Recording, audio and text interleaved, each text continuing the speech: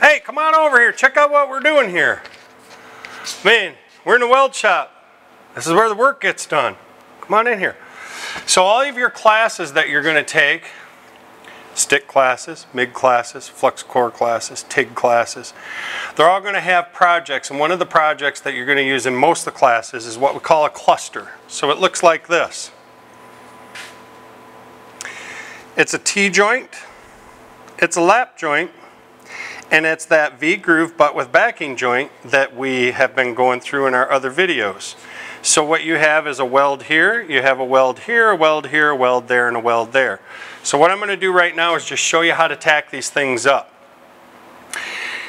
Depending on the process, depending on um, where you're at with these clusters, because there's some different variations of them, but your print and your procedure will have the length and the thickness of the pieces on here. Some of them are thinner material, some of them are shorter, some of them are longer. You just have to pay attention to the bill of materials. So these are saying these are 10 inches long, 12 inches long, these pieces are. Now today, for video purposes, because I have them sitting here and I don't want to waste metal, I'm just using six inch pieces. So these are all six inch pieces. You're going to be probably tacking up 10 but it doesn't change the sequence and how they're tacked. It doesn't change, the welder doesn't care if it's 10 inches or 6 inches. So we're just going to take a minute and show you how to tack these things up. Whether it's super critical for these to be perfectly tacked up and perfectly straight and everything really nice, you should try to do that every time because that starts to develop habits. That starts to develop habits and as you get through this program and you get to some of the harder welds, those little things like grinding mill scale off and making sure it's square and true and distortion and all that is going to make a big difference in your welds. But for right now, you're just getting started. So here's what we're going to start with. I've removed the mill scale. Probably for practice purposes, it's not a great big deal, but again, it's a good habit to get into. It's just a good habit to get into. The cleaner the metal, the better the weld. I have another butt with backing weld that's going to be part of this. I've removed the mill scale, removed the mill scale. This is the same weld that we've gone through in our other video series about how to prep these up and do the, do the bend test. So what I'm going to start with is nice little tacks. I have these two pieces of metal sitting on my table just because it makes them flatter. Even one piece can make a much flatter surface because these tables aren't real flat. So what I'm going to do is bring these in. I have my MIG gun ready. I'm going to set it up in the middle, make a nice T-joint, and I'm going to tack it right on the end here. Now if I tack it from one side or the other, whichever side I tack it on is going to pull this thing this way. So I want to tack it right on the end. Watch that camera lens so we don't burn you up.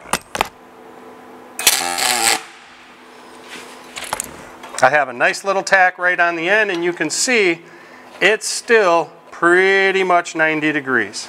That's super critical, but again, these are good habits to start developing. I'm going to move that one over just a little bit.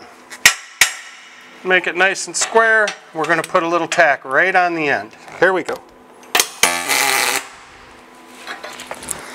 So I've got my T-joint tacked up, and this is actually my T-joint and my lap joint. The cool thing about these clusters is, this particular cluster, is there's also different material thicknesses, so you have to do your welds a little bit different different material thicknesses and different processes. So let's go through this one one more time.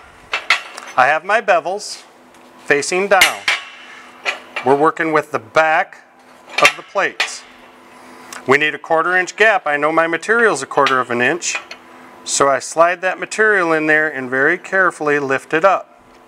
I take the ground spot, put it down on the back, because this has to be a quarter of an inch opening. If I move it around, I want to check it again. I put it down on the back. I hold this thing down and I come in and put a tack. I come on this side and put a tack. I come in on this end, one more little tack, and another tack here,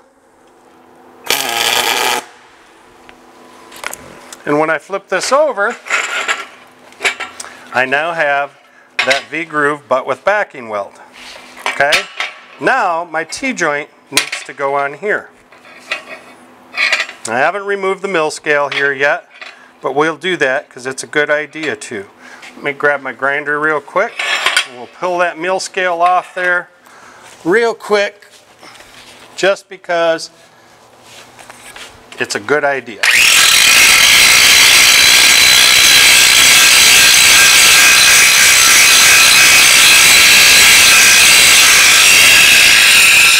The cleaner the metal, the better the weld every time. So now I'm going to come in here and I'm going to overlap this piece because I have to have an overlap on both sides. Okay? I'm going to come in and tack it right on the end. And I'm going to come in and tack it on the other end. And this ends up being what we call a cluster weld. These pieces may be a little bit wider. They may be a little bit taller. They may be a little bit longer. It all depends on your print and your process, what you're doing. But now I have, this is good use of metal because now I have a weld here. I have a weld here, a lap weld and a lap weld. I have a T-joint and a T-joint and then this. And these will be done in flat position, horizontal position, vertical position, and overhead position. So these clusters are worth taking the time. Grind the mill scale off, make sure everything's square and true. You don't have to get a micrometer out right now. Just make sure everything eyeballs up nice. And as you tack these things up, working through the process and working through your different classes, they'll get nicer and nicer and nicer. Just remember, everything builds from your foundational skills. The better you get the foundational skills, the faster your learning process is going to happen, the better your learning process is going to happen. Don't skip over the steps. Some of these things we do get a little bit boring, they get a little bit tedious. There's a reason for that because it develops good habits in the weld lab. So we can turn you into a professional welder.